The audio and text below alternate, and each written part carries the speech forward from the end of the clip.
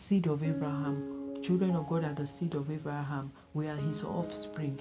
The Bible says that we will enjoy his blessing because we are his seed. The blessing that God bless him will be our portion.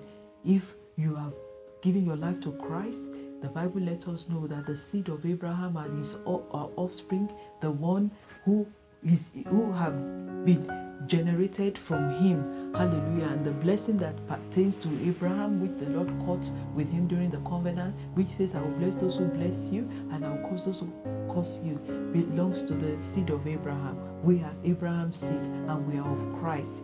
You are engrafted into God's family when you make Jesus the Lord of your life, and this blessing you will partake of being the seed of Abraham, God's beloved. Abraham was God's friend. Are you? God bless you and take care.